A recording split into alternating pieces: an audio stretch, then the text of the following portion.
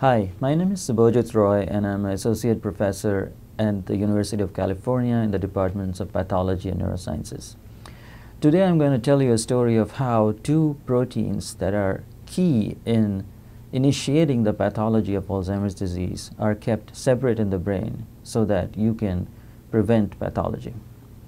In the first slide, what you see is a human brain with Alzheimer's disease. And a key pathology here is that the whole brain is studded with this protein which is known as amyloid beta.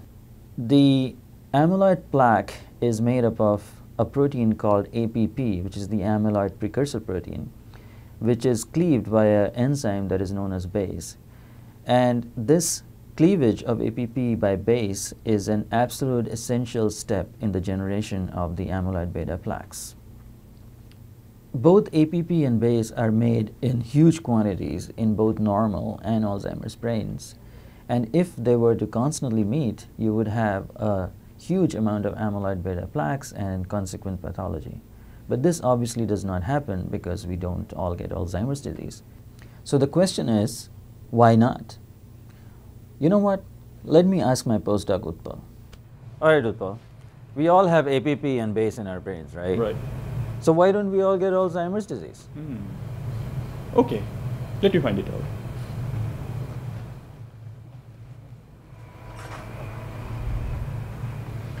Okay, Subhojit, this is what I found.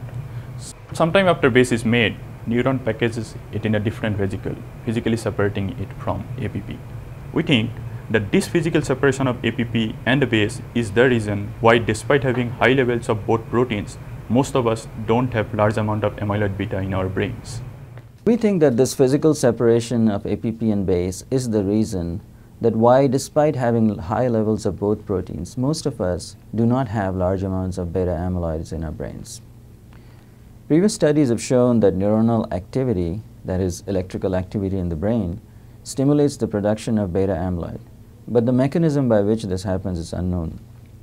We found that when neurons are stimulated, there is a convergence of APP and BACE along with a concomitant rise in beta amyloid levels. In the image below, you can see that there is more yellow as the APP and BACE vesicles have converged. We also did further experiments that help define the basic pathway by which APP and BACE seem to converge as shown on the right. Next, we looked at postmortem brains from patients with Alzheimer's disease compared to controls. So remarkably, we found that while the distribution of APP and BACE was separate in normal brains, there was a convergence in brains of patients with Alzheimer's disease, suggesting that the basic concept of physical separation and convergence likely plays a role in human disease as well.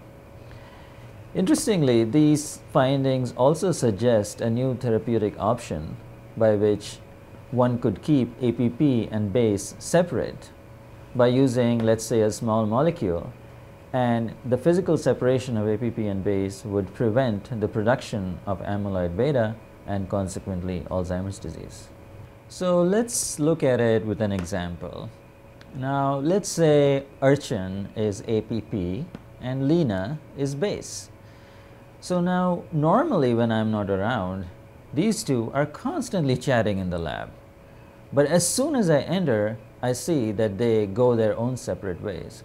What we really need to do is to find something that can keep APP and BACE separated in the brains and prevent their constant convergence and production of large amounts of amyloid beta.